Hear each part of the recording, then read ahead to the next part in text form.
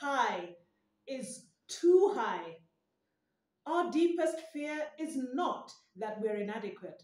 Our deepest fear is that we are powerful beyond measure. That's a quote from Marianne Williamson, quoted again and again by the greats of the greats of this world like Nelson Mandela. It was in June of 2015 when young, entrepreneurial, inspiring youth formed Mountain Slayers of Uganda, an establishment meant to inspire and enthrall travelers from all over the world to visit this scenic place, home to over a thousand species of birds. Not three species, we don't just have the crested crane, the chicken, and the pigeon. We have over 3,000 species of birds. This wonderful country, Uganda.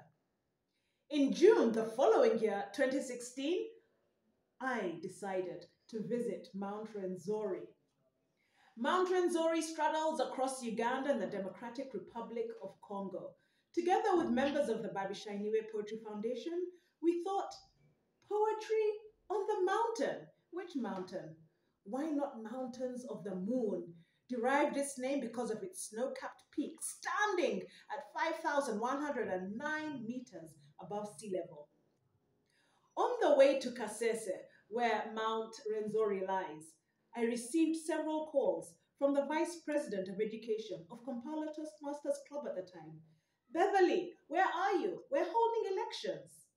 You have been nominated for almost every office Vice President Education, Vice President of Membership, Vice President of Public Relations.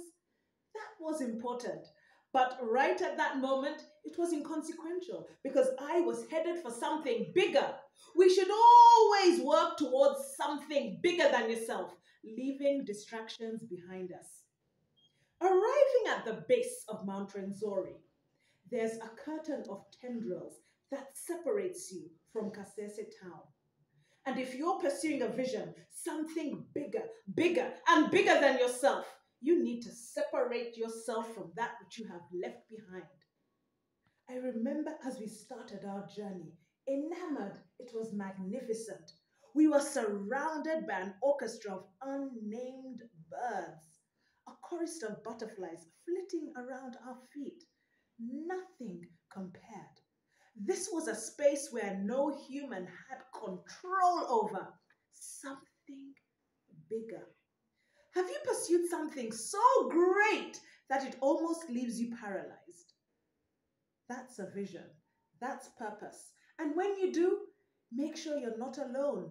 Don't take this journey alone. Go with a guide. Our guide on Mount Rwenzori for our six hour nature walk was none other than a Mukonjo man, grandson to the first ever recorded Mukonjo to climb to the peak of Mount Rwenzori the Rwenzori Ranges, Margherita.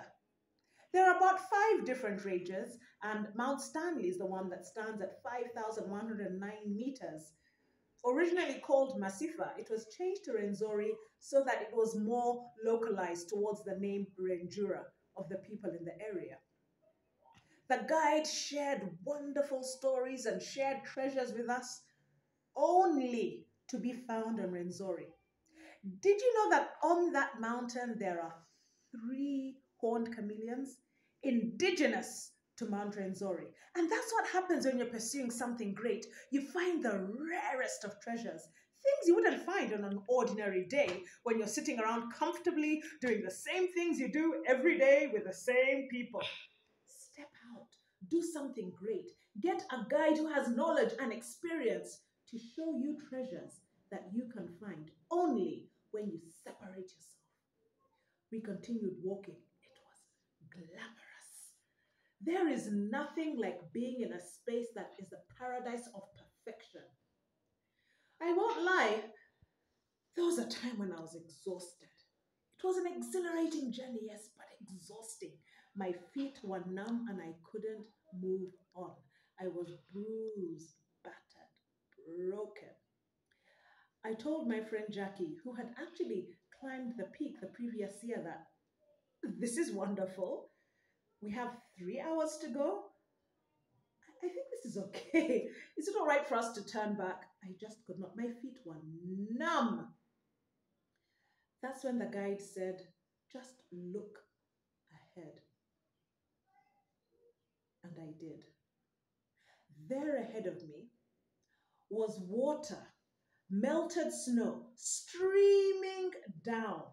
Nothing purer than crystallized liquid perfection. We've all enjoyed Rwenzori products, haven't we? Did you know that Rwenzori water was actually derived from that melted snow from Mount Rwenzori? That's what I got to know when I was there. We tasted it. Liquid perfection. That's what you find when you pursue your purpose, a vision, when you separate yourself. Because Mount Rwenzori holds treasures that are unique to that place. Your vision holds treasures unique to your precious purpose. Go towards something bigger than yourself. Go with a team. We had porters. I know there's a team traveling to the peak of Mount Rwenzori next week. If I told them, Would you like me to engage you as a porter? They would look at me dressed and say, Thank you, but you don't quite qualify. Understandably, the porters we had were qualified, they were sturdy, they were secure, they knew where they were going, they'd had significant experience, and they were really helpful when we were exhausted. Some more stories we heard were that in the olden days, traditionally, for men to show their prowess, they had to carry Bakonjo women across certain parts of the mountain to show that they were fit to be men, to be husbands, to be carers of people. Pursue something bigger than yourself. Separate yourself from what you knew. On the journey to Mount Rwenzori, I received another call telling me You've been elected as the Vice President Public Relations of Kampala Toastmasters Club. That was important. But at that moment, it was inconsequential because I was pursuing a purpose that was greater, something that was going to change and transform me forever. We need to go to a place that is transformational. And when you do, renew your mind every day. Visiting Rwenzori isn't enough but igniting yourself into what inspired you, renewing your mind every day, becoming a person that's unrecognizable because you know what it means to be great. It's about greatness every day, whether it's drawing out plans for the day, whether it's meeting with your team to plan strategically, whether it's learning and listening to great people all over the world, whether it's learning more about your craft, or even taking a break just to meditate. That's what it means. So go to your Rwenzori and every day transform yourself because greatness is a daily habit. It's June. There are people summiting Mount Rwenzori next week. How about you? Find your Mount Rwenzori. Find that that is bigger than yourself. Find that that is transformational. I'm Beverley Nambozo Nsengiyunva, speaker, poet, team builder, lover of nature, long distance swimmer, and I'm here to inspire you to find your Mount Rwenzori.